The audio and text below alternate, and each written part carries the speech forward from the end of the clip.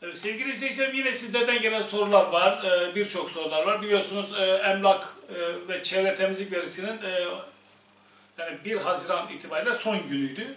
Hani cumartesi pazara denk geldiği için Mayıs son günü 1 Haziran son günüydü. Şimdi bütün belediyeler tabii ki only yani internet üzerinden de tahsilat yapabiliyor ama Çukurova Belediyesi, Adana Merkez Çukurova Belediyesi only sistemi kapatmış. Yani birçok arkadaş erişemedi. Hatta ben de denedim, ben de erişemedim. Birkaç gün üst üstüne denedik, erişemedik. Şimdi biliyorsunuz pandemi sürecinde evden çıkamayanlar var veya şehir dışında olanlar var. Vergisini ödemek istiyor. Birinci taksit ödeyecek, ikinci taksit de e, Kasım ayında ödeyecekler. Ödeyemeyince ne oluyor? Bu sefer e, sanki hiç yatırmamışın gibi e, tamam yekün vergi, yani iki taksite bölünmesi gereken vergi yekün olarak yıl başına itibaren nemalandırılıyor.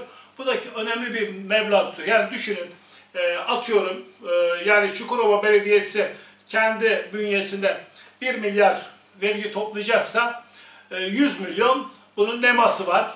Değil mi? Faizi var. E, güzel bir kar. Yani buradan Soner Bey'i tebrik ediyorum.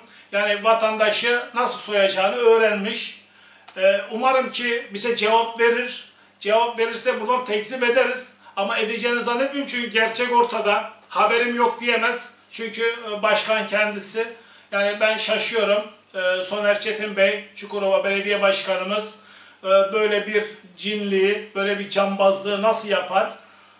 Allah yardımcımız olsun.